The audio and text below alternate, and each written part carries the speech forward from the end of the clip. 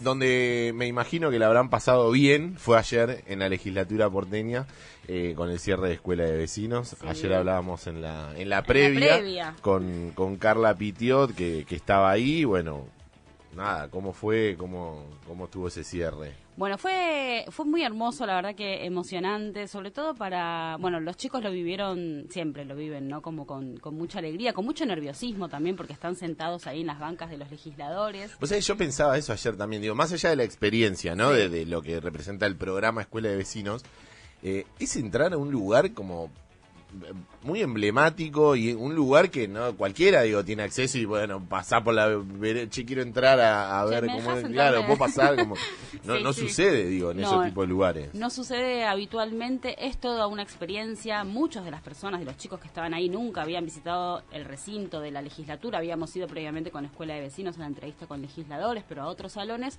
pero nunca estar ahí sentados no en, en las propias bancas que ocupan eh, los legisladores y de hecho los legisladores que estuvieron ayer en el plenario, bueno, fueron diciendo, bueno, yo me siento acá, yo me siento allá, eh, donde está sentado vos me siento yo, bueno, fue, la verdad que fue una experiencia muy linda para nosotros también como mm, fundación, porque bueno, eh, soy medio reiterativa con esto, pero después de tres años de, no haber hecho el programa se extrañó, la verdad que estuvo bueno volver. Sobre todo, porque fueron tres años que no se hizo, pero un montón de años anteriores se hizo todos los años, ¿no? Se hizo todos los años y de repente Claro. ¿no? Entonces, bueno, volver. Y después, además, eh, perdón, de, todo el nerviosismo también de, de, haber pasado en el medio un montón de, de, cuestiones como la pandemia, de los chicos también volver a reencontrarse haciendo este tipo de actividades. Sí, totalmente. Y bueno, arrancamos como con mucha incertidumbre también, ¿no? Porque no sabíamos con qué chicos o cómo nos íbamos a, encontrar, cómo iba a ser esta nueva generación, una generación que arrancó la secundaria en plena pandemia,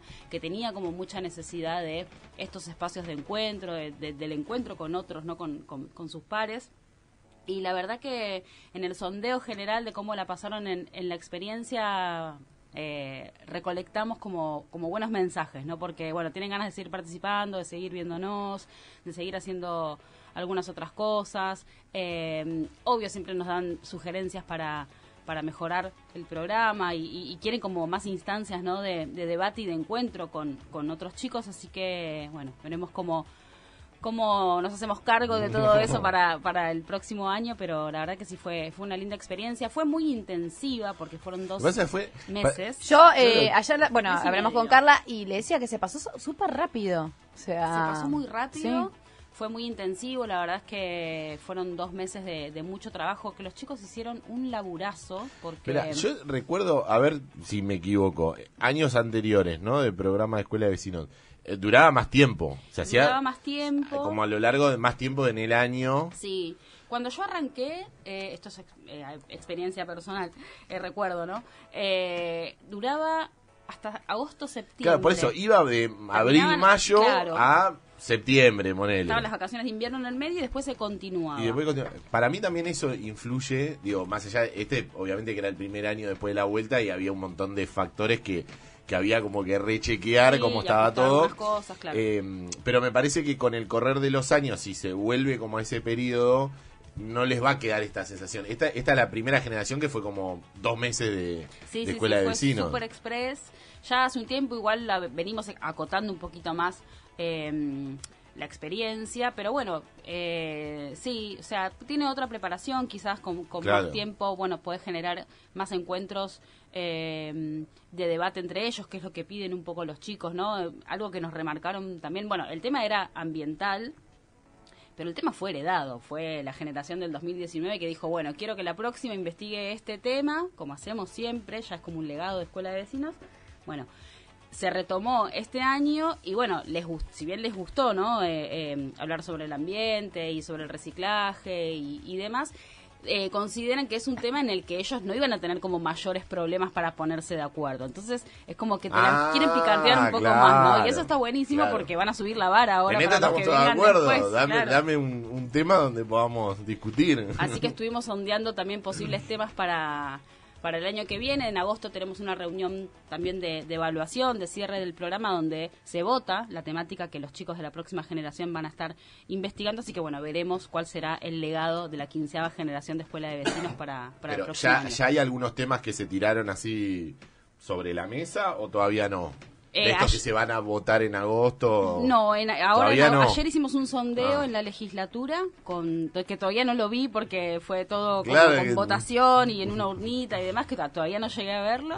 Eh, pero ya en agosto, en base a esas a esas sugerencias, se presentan los temas y los chicos eligen, bueno, el que se va a investigar la, en la próxima edición. Si, sí. si la picantearon así, hay que ver qué hay que ver qué, proponen. Creo que hay muchas cosas dando vueltas, eh, bueno, sobre género, eh, cuestiones vinculadas también a... Mm, a las adicciones, pero desde un lado de, todo esto viste que se, que se vive ahora con las apuestas online y demás, que es un tema súper recurrente también en los jóvenes.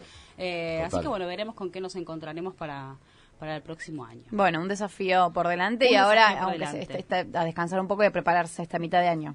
De más o menos. Veremos qué nos depara la segunda, la segunda parte del año. Eh, estos dos meses fueron intensos, los chicos trabajaron eh, muchísimo, presentaron sus propuestas, su diagnóstico a través de las encuestas que hicieron. ¿qué, devolución o qué recibieron ellos de parte de los legisladores? Bueno, los legisladores... ¿Cómo fue la recepción, digo? Súper, bueno, contentos de, recibirlos en, el recinto. Porque pienso, perdón, Lu, que esta camada de legisladores muchos no, no estaban. Algunos renuevan, algunos, Pero digo, claro. Eh, eh, es la primera generación escuela de vecinos que, que, los trata, que sí, tienen. de los legisladores que estuvieron, bueno, nunca antes habían visto otra otra generación de, de escuela de vecinos. las repercusiones fueron buenas, siempre felicitan la iniciativa y que jóvenes estén participando e involucrándose en temáticas que, que a ellos los preocupan como jóvenes y como como ciudadanos.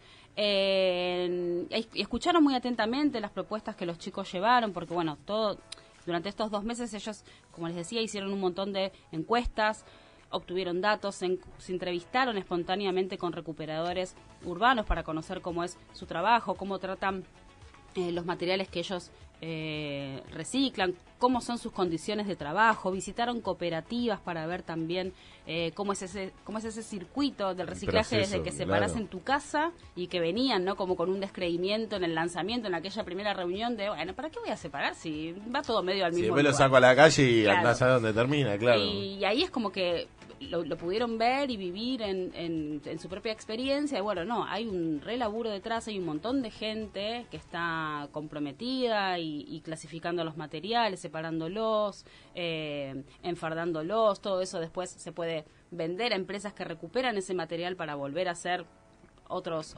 otros materiales, otros productos y así contribuir de alguna manera a lo que se denomina la, la economía circular. Y los legisladores hicieron mucho hincapié en una propuesta que los chicos llevaron que tiene que ver con la creación y que les compete obviamente directamente a la legislatura, que tiene que ver con la creación de una ley de envases en la ciudad de Buenos Aires.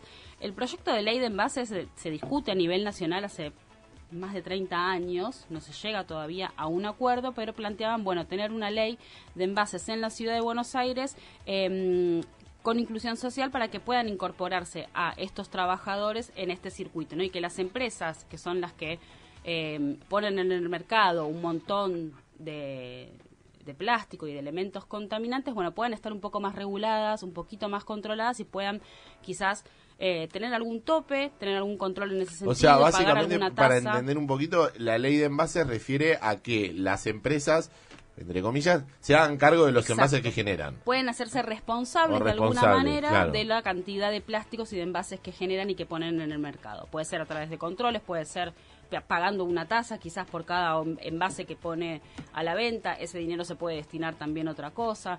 Eh, básicamente, así como contado también como muy grandes rasgos, va un poco por ese lado y para poder seguir contribuyendo con el trabajo de, los recuperadores urbanos y de las cooperativas que vienen haciendo, la verdad que un laburazo porque de toda la cantidad de residuos que generamos por día en la ciudad de Buenos Aires, el 40 o 50% se puede reciclar y se puede aprovechar si lo hacemos de manera diferenciada, ¿no? Y es un montón. Es un montón, es un montón. Bueno, Lu, eh, queda entonces eh, la expectativa, a ver, en agosto, cuando se abran esas urnas. A ver, claro, cuando veamos el recuento de recuento de votos. De votos agosto va a ser un mes terrible de, urnas, de, cuentas y demás. Así que veremos eh, con, con, qué nos sugirieron los, los chicos y cuál va a ser el tema de, de la decimosexta generación, generación de escuela de para el 2024. Sí. A qué viejo que estamos. Habla por vos. Gracias, Lu. A ustedes.